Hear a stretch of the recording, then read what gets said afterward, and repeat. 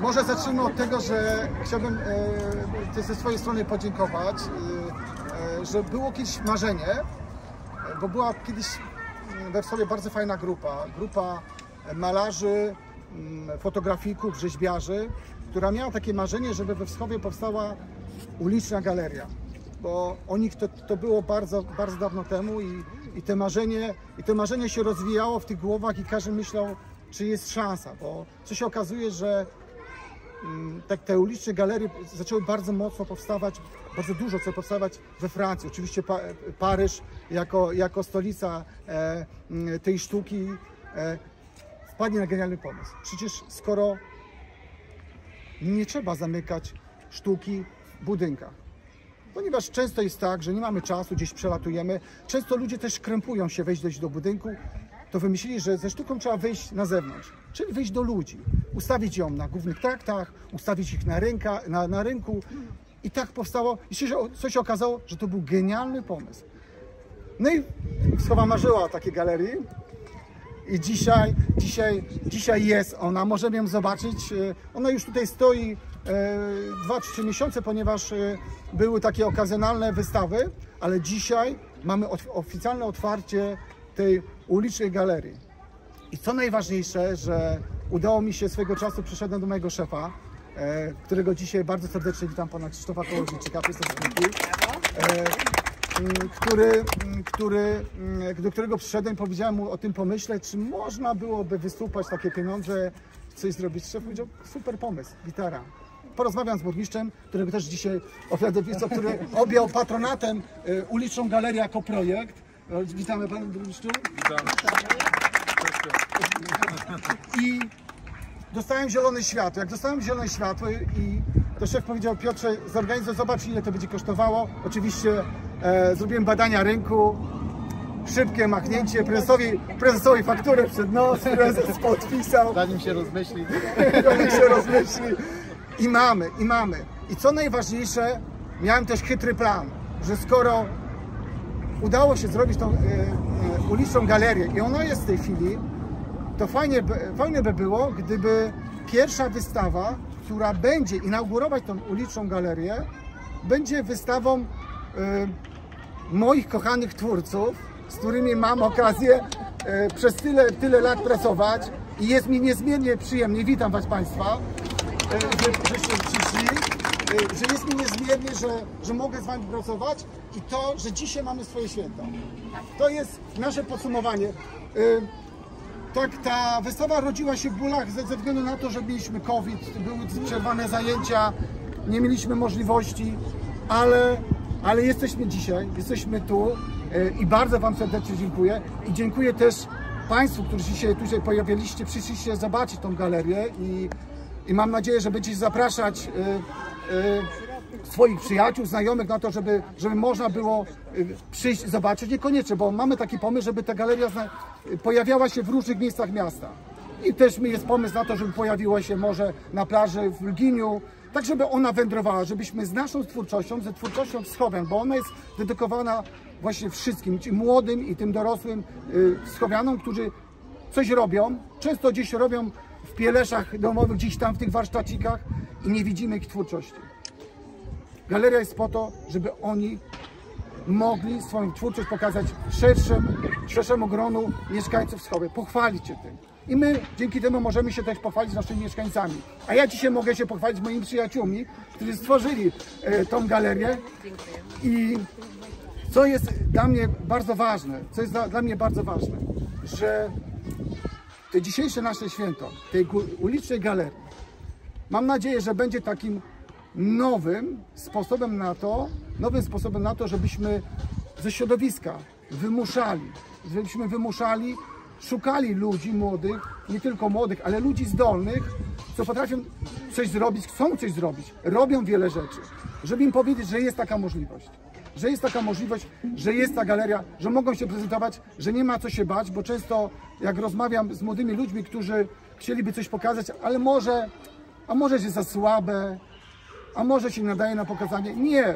Jeżeli coś robię, robię coś wyjątkowego, ta galeria jest właśnie po to. Pokażmy, przyjdźmy i zróbmy coś, a nasza głowa jest w tym, żeby ta galeria żyła. Tak więc y, z mojej strony na, na chwilę obecną, na chwilę obecną to tyle. Bardzo dziękuję. Dziękuję też za przybycie pani, pani Elisty Nowiczyńskiej, która jest przewodniczącą y, Uniwersytetu Trzeciego Wieku, czyli jakby szefową y, tej grupy mm, To jest osób. główny szef, przepraszam. Tak? Tak, Centrum Kultury, my jesteśmy pod Do, jego opieką. do, do pana Piotra dojdę. Bo dużo tych szefów.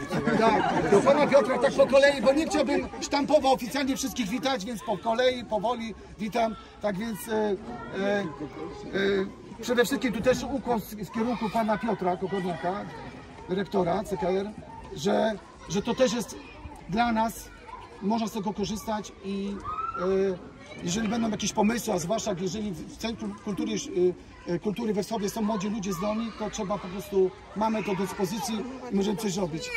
Z mojej strony tyle. Chciałbym, żeby mm, głos zabrał mój szef, pan prezes Krzysztof Kołodziejczyk, który no, sfinansował, który mi powiedział nie.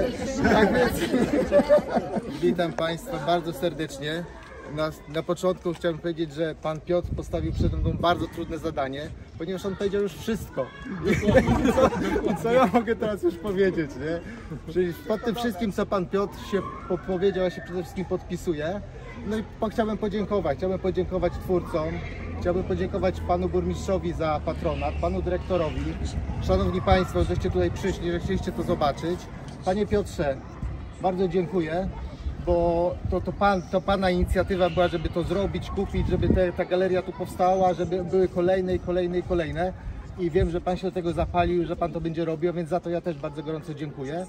No i bardzo bym prosił, żeby twórcom tutaj rozdać właśnie takie, No takie- różyczki. No tak zgodnie z pewnym kanonem e, wernisażu. Chciałbym, panie prezesie, to może razem rozdamy.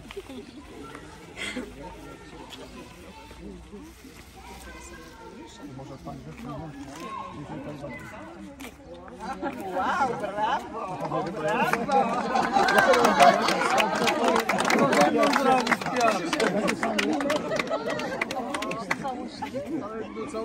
Widzę, nie mamy.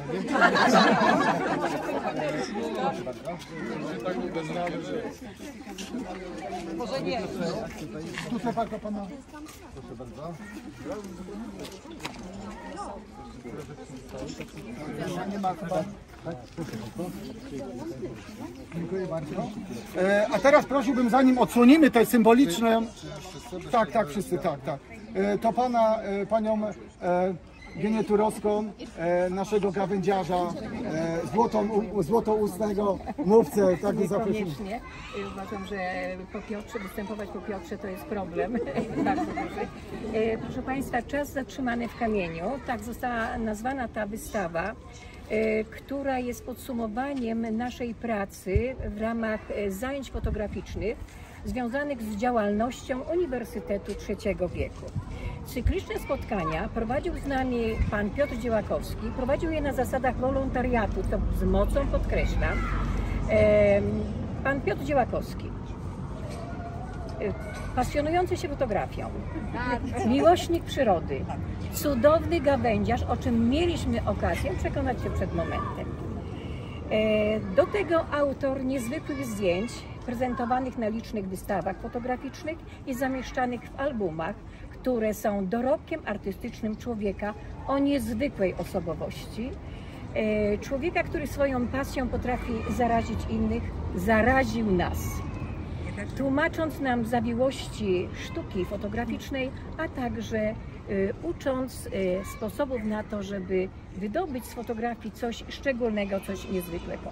Prezentowane na tej wystawie zdjęcia związane są z takim szczególnym miejscem na mapie Wschowy, z naszym lapidarium. To tam na jednych z zajęć y, w tym y, niezwykłym Muzeum Sztuki Nagrobnej, zainspirowani przez pana Piotra, E, poszukiwaliśmy szczegółów, szczegółów zamkniętych w kamieniach, a dotyczących ludzi, którzy kiedyś tutaj żyli i tworzyli historię tego miasta, miasta, w którym żyjemy dzisiaj. Szczegółów, które e, umykają nas, nam niejednokrotnie, szczegółów ważnych, ale pomijanych w czasie wędrówki po lapidarium. E, To dzięki właśnie panu Piotrowi odkryliśmy e, oprócz rzeczy znanych, rzeczy niezwykłe. to pan Piotr sprawił też, że wielu z nas po tychże zajęciach niejednokrotnie wracało do lapidarium, szukając znowuż czegoś nowego, niezwykłego i popadając w zadumy nad kamiennymi twarzami, nad drzewami do złudzenia e, przypominającymi drzewa naturalne, nad kamiennymi księgami, zegarami, szczegółami zamkniętymi w ornamentach roślin. Za możliwość zaprezentowania tych naszych prac e, chciałam w imieniu całej grupy e,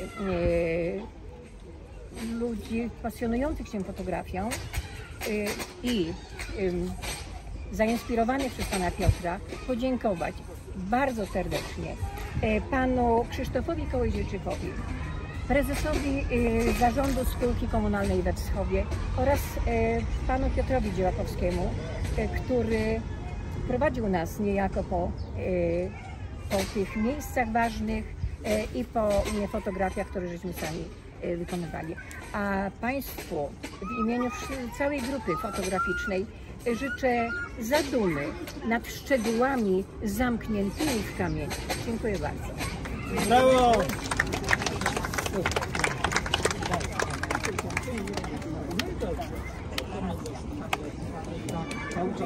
Bez zmian.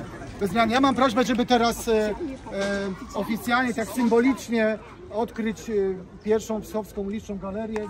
Bardzo proszę pana burmistrza, pana burmistrza, e, panią Lucynę Mężczyzkę przewodniczącą i pana prezesa.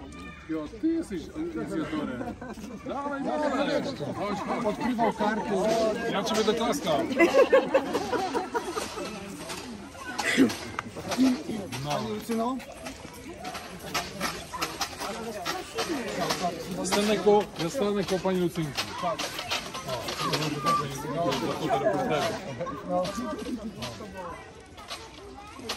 Kto rozbiera? Proszę bardzo. Brawo. Kto ma autorzy?